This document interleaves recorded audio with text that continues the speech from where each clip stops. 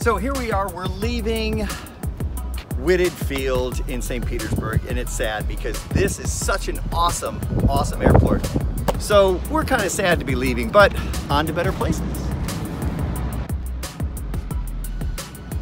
Kelley and I'm here at the Arthur Dunn Air Park. There are several air parks near the shuttle landing facility, and we are going to be visiting NASA and checking out the Kennedy Space Center. So this was a great spot to park our plane. And if you're going to be at this area and you're going to tour the Space Center, which you should do because they've got a lot of cool stuff, this is a good spot. They have two runways, a grass and a paved runway. I think it's 2,900 feet.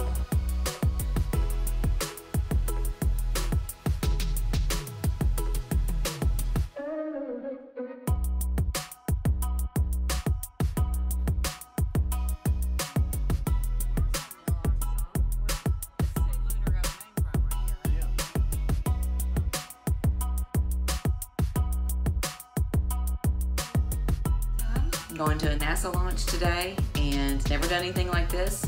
Was invited by a couple of friends that work at the Kennedy Space Center and NASA to go to this launch and I had to get up super early because you get on the bus, the shuttle to get over there at like 4 a.m.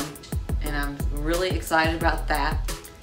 So last night was spent on the Space Coast and I slept not one second last night, not one second.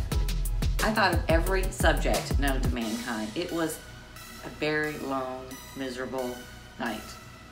And I have got my concealer in my pocket because I will be applying this like every 30 minutes so I don't look like a raccoon crawling out of a garbage can.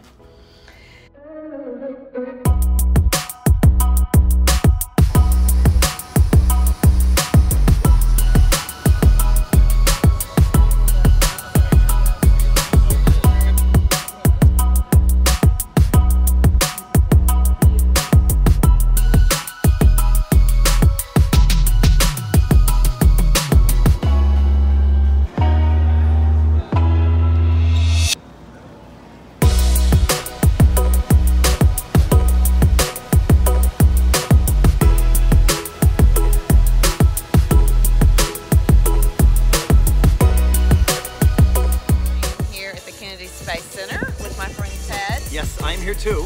We are getting ready to watch a launch. The Starliner, correct? Yeah, Unmanned. the Boeing CTF Starliner. CTS Starliner. seconds. That is a real time now. Three minutes, 26 seconds and counting. We've got a lot.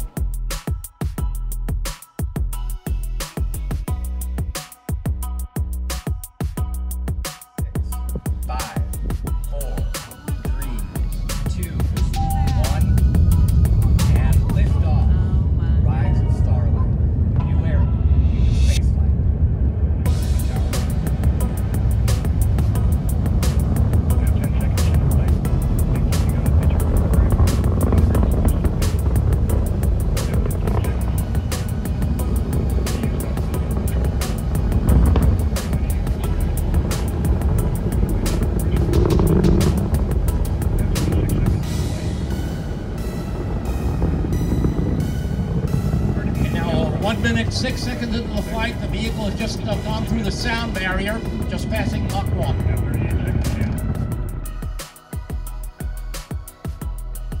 And Mach 1, Atlas 5 is now supersonic. And vehicle now throttling up. Engine response looks good. Continue to see good chamber pressure on both SRBs. Standing by for Two little burnout. white dots coming off from the side of the vehicle. If uh, we And get we a good sun on uh, today, boosters. And that'll be the will hold on to separation of the two solid rocket boosters about uh, RD-180 has gone back. Seven seconds from now. Expected engine response looks good. 1 minute 50 seconds in. Atlas is now 17 miles in altitude, 11 and a half miles downrange distance, traveling at 2,300 miles per hour.